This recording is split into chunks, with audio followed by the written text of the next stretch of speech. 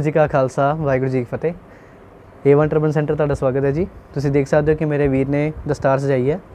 ਇਹ ਬਹੁਤ ਸਿੰਪਲ ਦਸਤਾਰ ਹੈ, ਠੀਕ ਹੈ ਜੀ? ਪਰ ਇਹਨੂੰ ਅਸੀਂ ਪ੍ਰੋਪਰ ਮੈਨਰਸ ਵਿੱਚ ਕਿੱਦਾਂ ਲੈ ਕੇ ਆਉਣਾ? ਫੜੋ ਜੀ ਇਹਨੂੰ, ਪਟਿਆਲਾ ਚੀ ਪੱਗ ਦੇ ਵਿੱਚ ਕਿੱਦਾਂ ਲੈ ਕੇ ਆਉਣਾ? ਸਿਰਫ ਸਿਲਾਈ ਦੀ ਮਦਦ ਨਾਲ ਲੈ ਕੇ ਆਉਣਾ, ਕਿਉਂਕਿ ਇਹ ਪੱਗ ਆਲਰੇਡੀ ਸਾਫ਼ ਹੈ, ਠੀਕ ਹੈ ਤੁਸੀਂ ਸਿਲਾਈ ਵੀ ਯੂਜ਼ ਕਰ ਸਕਦੇ ਹੋ ਬਿਨਾਂ ਸਿਲਾਈ ਤੋਂ ਵੀ ਕਰ ਸਕਦੇ ਹੋ। ਇੱਕ ਲੜ ਮੈਂ ਤੁਹਾਨੂੰ ਬਿਨਾਂ ਸਿਲਾਈ ਤੋਂ ਕਰਕੇ ਦਿਖਾਉਂਦਾ ਪਹਿਲਾਂ, ਠੀਕ ਹੈ? ਇਹਦੀ ਪੋਜੀਸ਼ਨ ਇੱਥੇ ਆਉਣੀ ਹੈ, ਠੀਕ ਹੈ? ਪਟਿਆਲਾ ਚੀ ਦੀ ਪੱਗ ਦੀ, ਇੱਥੇ ਲੜ ਆਉਣਾ ਇਹਦਾ। ਧਿਆਨ ਨਾਲ ਦੇਖੋ ਕਿ ਐਗਜ਼ੈਕਟਲੀ ਲੜ ਇਹਦਾ ਇੱਥੇ ਆਉਣਾ ਚਾਹੀਦਾ। ਹੈ। ਠੀਕ ਹੈ, ਬਾਕੀ ਲੜ ਕਿੱਦਾਂ ਜਾਣਗੇ? ਦੇਖੋ। ਠੀਕ ਹੈ ਜੀ, ਇੱਕ ਲੜ ਉੱਪਰ ਚਲਾ ਗਿਆ। ਘਬਰਾਉਣਾ ਬਿਲਕੁਲ ਨਹੀਂ ਹੁੰਦਾ ਜੇ ਪੱਗ ਗਲਤ ਵੀ ਹੋ ਜੇ, ਕੋਈ ਟੈਨਸ਼ਨ ਲੈਣ ਦੀ ਲੋੜ ਨਹੀਂ ਹੈ ਸਾਰੀ ਪੱਗ ਸੈੱਟ ਹੋ ਸਕਦੀ ਹੁੰਦੀ ਆ। ਲਓ ਜੀ। ਆਹ ਲੜ ਬਣ ਗਏ ਪਟਿਆਲਾ ਸੀ ਪੱਗ ਦੇ।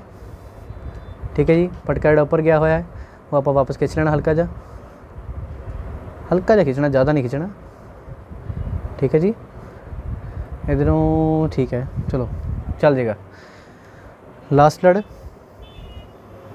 ਲਗਾਵਾਂਗੇ ਸਿੱਧਾ ਕਰਕੇ।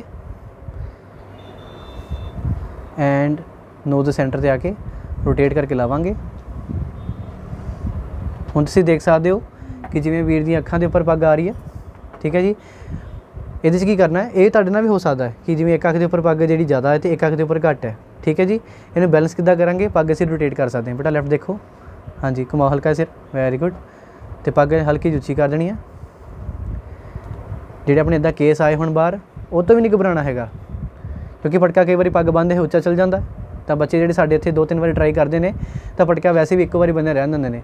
ਤੇ ਉਹਦੇ ਕਰਕੇ ਪਟਕਾ ਜਿਹੜਾ ਢਿੱਲਾ ਹੋ ਜਾਂਦਾ। ਸੋ ਇਹੋ ਜਿਹੀ ਜਿਹੜੀ ਛੋਟੀ ਛੋਟੀਆਂ ਜਿਹੜੀਆਂ ਕਮੀਆਂ ਹੁੰਦੀਆਂ ਨੇ ਇਦਾਂ ਸੈੱਟ ਕਰ ਸਕਦੇ ਹੁੰਦੇ ਆ, ਤਾਂ ਪੱਗ ਜਿਹੜੀ ਆਪਣੀ ਸੋਹਣੀ ਬਣ ਜਾਂਦੀ ਹੈ ਜੇ ਤੁਹਾਨੂੰ ਵੀਡੀਓ ਪਸੰਦ ਆਏ ਵੀਡੀਓ ਨੂੰ ਲਾਈਕ ਤੇ ਸ਼ੇਅਰ ਜ਼ਰੂਰ ਕਰਿਓ। Thanks for watching